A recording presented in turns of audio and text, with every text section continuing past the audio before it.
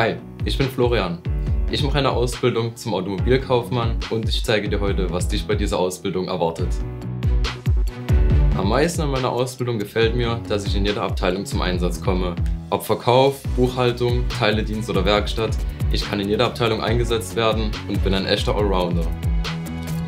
Derzeit arbeite ich im Service. Dort bin ich der erste Ansprechpartner für den Kunden.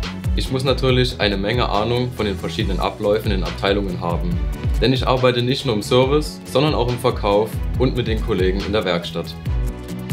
Klar ist, dass ich einiges über Autos wissen muss. Denn wenn ein Kunde sein Fahrzeug zur Reparatur bringt oder zur Inspektion, erkläre ich ihm gerne, was in seinem Fahrzeug gemacht wird.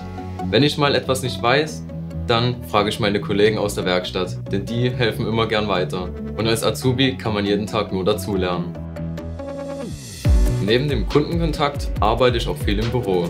Denn zu meinen Aufgaben gehört neben der Buchhaltung auch das Bestellen von Fahrzeugen und Fahrzeugteilen. Diese abwechslungsreiche Arbeit macht die Ausbildung und den Beruf so spannend.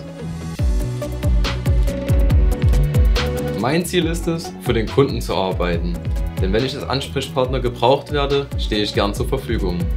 Richtig klasse finde ich es, wenn ich bei Fahrzeugauslieferung dabei sein kann. Wenn der Kunde zum ersten Mal seinen Neuwagen sieht freue ich mich mit ihm mit. Wie du siehst, ist der Beruf als Automobilkaufmann sehr abwechslungsreich.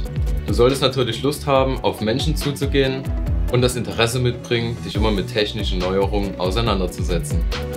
Außerdem solltest du technisches Interesse und finanzielles Verständnis mitbringen, um deine Arbeit im Büro gut zu erledigen. Du hast Interesse bekommen?